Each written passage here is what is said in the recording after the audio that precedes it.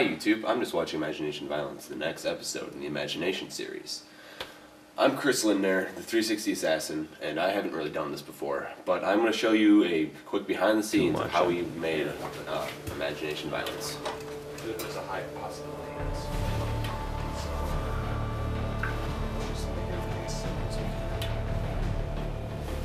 Tell me if there's. Don't move too much to your left. Just go. And go. Stare angrily at this guy. Go. Oh, you moved too far to the left. You moved too far to the left. Oh, yeah, you did. Okay, now go again. Oh, you have to say something like, I'm just getting my hammer here.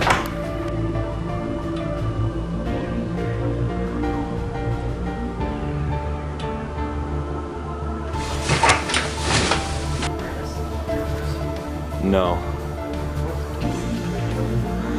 Don't know what those are, but we picked them up off of my dad's work. Those look like ladders. No, they're stands. Or something, or racks.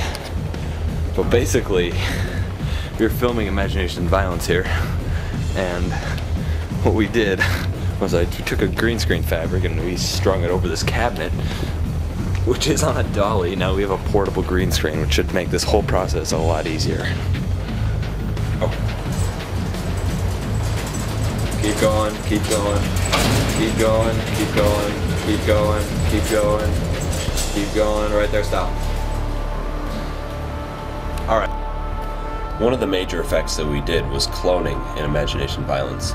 And the cloning was achieved by taking green screens and taking multiple shots for each clone, then keying them out, doing a little cropping in After Effects, and then and then tracking them into the shot using Mocha. Go. Yeah, I won! Yeah! Oh, don't hit that. That would have been a good It would have. Go.